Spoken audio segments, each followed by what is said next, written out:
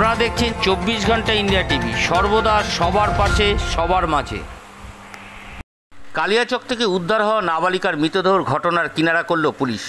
মঙ্গলবার বিকেলে পাঁচটা নাগাদ কালিয়াচকের রামনগর এলাকা থেকে বিশ্বজিৎ মণ্ডল নামে এক ব্যক্তিকে গ্রেপ্তার করে পুলিশ। ধৃতকে আজ চোদ্দ দিনের পুলিশ হেফাজতের আবেদনে মালদা জেলায় আদালতে পেশ করা হবে।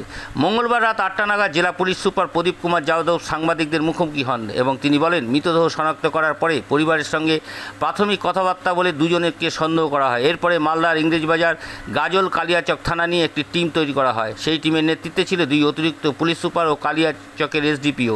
এরপরও সন্দেহভাজক দুই ব্যক্তির খোঁজ শুরু হয়, আটক করা হয়েছে দুজনের মধ্যে একজনকে। সমস্ত ঘটনায় স্বীকার করে নেয় অভিযুক্ত। অভিযুক্তের নাম বিশ্বজিৎ মণ্ডল, বয়স উনত্রিশ। পুলিশ সুপার আরও জানান, জিজ্ঞাসাবাদে ধৃতকে জানিয়েছে, নদিন আগে থেকে ফোনের মাধ্যমে ওই কিশোরীর সঙ্গে অভিযুক্ত যোগাযোগ হয়। গতকাল তারা দেখাও করার পরিকল্পনা সন্ধ্যায় ওই কিশোরীকে মদিপুর যায় এবং সেখান থেকে অভিযুক্ত করে কিশোরী ঘটনাকে ঘটনাস্থলে দেখে নিয়ে যায়। সেখানে দুজনের মধ্যে শারীরিক সম্পর্ক হয়। এর মধ্যে কিশোরী অভিযুক্তকে বিয়ে করার কথা বলে। কিন্তু অভিযুক্ত বিবাহিত, তাই দুই তার দুই সন্তানও রয়েছে। বিয়ের কথা শুনেই অভিযুক্ত ভয় পেয়ে যায়। সেই বয়ানের ভিত্তিতে কিশোরীকে বাড়ি ফিরে যাওয়ার কথা বলে। কিন্তু এই কিশোরী তাতে রাজি হয়নি। সে বিয়ে করতে চেয়েছিল। পুলিশ কমিশনার সুপার এরপরেই রাতে এগারোটা, বারোটা নাগাদ আতঙ্কে অভিযুক্ত কিশোরীকে ওড়না দিয়ে শ্বাসরুদ্ধ করে খুন করে। এরপরেই সেখানে কিশোরীর মৃতদেহ ফেলে অভিযুক্ত বাড়ি চলে যায়। মঙ্গলবার বিকালে বাড়ি থেকে অভিযুক্তকে গ্রেপ্তার করা হয়েছে বলে জানা যায়। অভিযুক্ত অভিযোগের ভিত্তিতে আপাতত ভারতীয় দণ্ডবিধি তিনশো দুই, দুশো এক ধারায় মামলা রুজু করা হয়েছে এবং অভিযুক্ত স্বীকারোক্তির ভিত্তিতে পস্কো আইনে মামলা রুজু করেছে বলে জানান জেলা পুলিশ সুপার। চব্বিশ ঘণ্টা ইন্ডিয়া টিভির প্রতিনিধি মালদা থেকে মাধব কুমারের বিশেষ প্রতিবেদন। স্যার কোনো মোবাইল রিকভার হয়েছে? কোনো মোবাইল রিকভার হয়েছে? মেয়েটার কোনো মোবাইল না আমরা ওটা এখন ইনভেস্টিগেশনে বের করার চেষ্টা করছি। ওটা মিসিং আছে এখন। আমরা ইন্টারোগেশন আরও কেউ সঙ্গী ছিল। মানে এই ঘটনা ঘটিয়েছে আরও কোনো সঙ্গী ছিল? ওই কি এখন আমরা আর কোনো লোকের ইনভলভমেন্ট পাচ্ছি না। ও যে বলেছে ওটাও ও নিজে বলেছে কি?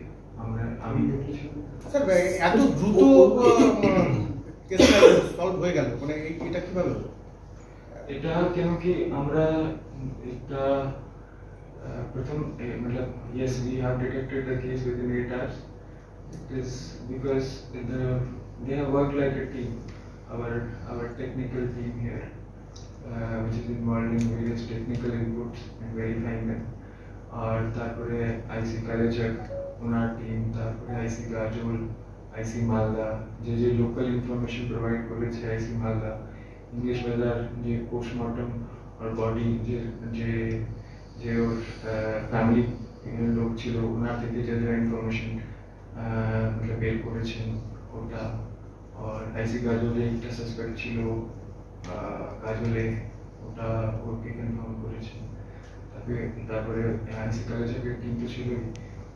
কলেজে খুব ভালো করে কোঅর্ডিনেট করেছে। শারীরিক সম্পর্ক কতবার হয়েছিল এটা আমরা এখন বলতে পারব না বিকজ ওর যে স্টেটমেন্ট আছে ওটা আমাকে ভেরিফাই করতে হবে বারবার স্টেটমেন্ট ফার্স্ট টাইম রিকনস্ট্রাকশন আর করে তারপরে আমরা ভালো করে করতে পারি। এখন ও বলছে একটা. ওয়ান টাইম কটা নাগাদ হয়েছিল? গতকাল কি ফার্স্ট টাইম ছিল? ইনসিডেন্টটা কখন? That is what he claims but hmm will not be able to verify that sir রিমান্ডে নিচ্ছেন কতদিনের রিমান্ড আমরা 14 ডেজ অ্যাপ্লাই করব স্যার এর কি মোবাইল ট্র্যাক লোকেশন করে কি ওকে ধরা হলো মোবাইল এটা আমি বলতে পারব না আমরা আহ, আমরা তো সব রিসোর্স রিসোর্স ইউজ করি তাহলে গাজল গাজল local source local verification photo যে আছে কোনটা কটা নাগাদ হয়েছিল কালকে মোটামুটি মোটামুটি ঘটনা এগারোটা রাত এগারোটা ওই- ওই- এগারোটা সা- বারোটার মধ্যে আশেপাশে তো কোনো লোকালিটি নেই অনেকটা নেই, ওটা locality একটু নেই। আইসোলেটেড জায়গা আছে। হ্যাঁ। স্যার এটা কোনো কমপ্লেন পেয়েছেন পরিবার থেকে বা রেপ অ্যান্ড মার্ডার কেস হচ্ছে কা- পরিবার থেকে আমরা কমপ্লেন্ট পেয়েছি around four four fifty five around 5 pm के आसपास this person uh, we had already worked up on the case he was uh, arrested at 5:30 কি কি ধারা দিচ্ছেন? কি ধারায় কেস হচ্ছে? কেস ওখানে যে কমপ্লেন্ট পেয়েছি ওখানে আমরা পেয়েছি যে মানে ওর ফাদার যে যে যত ফ্যাক্টস জানে ওর উপরে যে কমপ্লেন্ট করেছে উপরে three zero two two zero one হয়েছে। এখন আমরা যে ইয়ে কনফেস করেছি এর জন্য আমরা অ্যাডিং সেকশন বক্সও পাঠাচ্ছি। Zero forensic team forensic team আমরা দেখব যদি আমি আমি যে যদি ইন্টারোগেশন মধ্যে সেরকম কিছু জিনিস বলে যার জন্য আমরা ভাববো কি এটা ফরেন্সিক টিমের দরকার আছে তাহলে আমরা করব। কিন্তু পোস্টমর্টম জন্য আমরা একটা বোর্ড অলরেডি রিকোয়েস্ট করেছি তি- তিন ডক্টরের বোর্ড ভিডিওগ্রাফি রিকোয়েস্ট করেছি ম্যাজিস্ট্রেটের রিকোয়েস্ট বলেছি ওর জন্য। বলছি ছেলেটি কি করে? পেশা কি ছেলেটি লেবার লেবার কাজ করে। অন্য কোনো মোটিভ ছিল কি? আজকে গোলাপগঞ্জ আউটপোস্ট এটা খবর পেল নটার সময় একটা আননোন ডেড বডি পাওয়া গেছে উজিরপুর জায়গা রামনগর পিএস কলেজ তো এটা একটা আননোন ডেড বডি ছিল।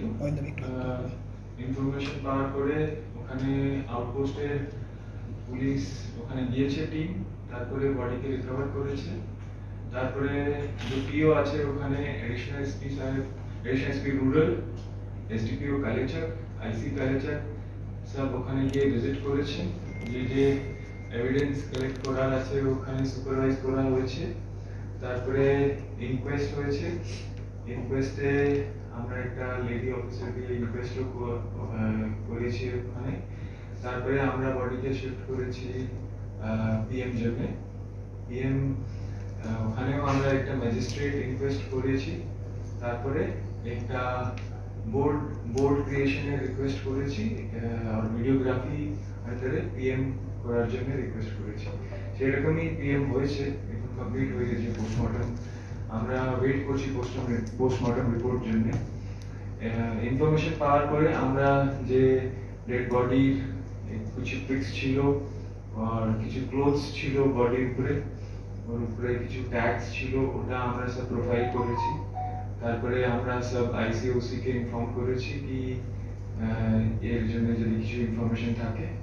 প্রোফাইল করার পরে আমরা কিছু ইনফরমেশন পেয়েছি কি আইসি মালদা ভিকটিম হতে পারে। আইসি মালদা থেকে আমরা এটা কনফার্ম করেছি। তারপরে ইনফরমেশন পাওয়ার পরে আমরা আদার টেকনিক্যাল ইনফরমেশন কালেক্ট করেছি। আর ওটাকে ডেভেলপ করে আমরা কিছু আহ, কিছু লোককে সাসপেক্ট ভাবে আমরা পয়েন্ট আউট করেছিলাম তারপরে একটা টিম হয়েছে এখানে আমরা আইসি কাজল আইসি মালদা আইসি ইংলিশ বাজার আর IC college under SDPO College and uh, Additional SP Rural and Additional SP Headquarters. They have coordinated আজ এ পর্যন্ত সঙ্গে রাখুন চব্বিশ ঘণ্টা ইন্ডিয়া টিভি, দেখতে থাকুন সব জেলার সব খবর, সবার আগে চব্বিশ ঘণ্টা ইন্ডিয়া টিভির পর্দায়। নমস্কার।